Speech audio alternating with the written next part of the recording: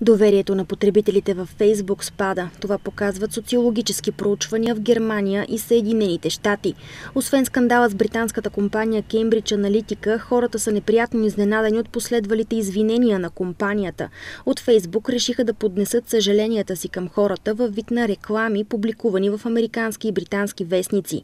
Сондаж на агенциите Reuters и Ipsos показва, че по-малко от половината американци вярват, че Фейсбук следва законите за поверителност на данните в Съединените щати.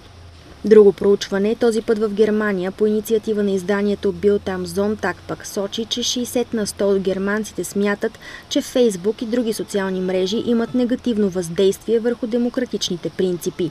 Поредният скандал, в който беше въвлечено името на компанията на Марк Зукърбърг, се разрази скоропостижно на острова и отвъд океана. Стана ясно, че британската компания Cambridge Analytica се е възползвала от лични данни на потребители на социалната мрежа с цел да повлияе на изборите за президент президент на Съединените щати през 2016 година.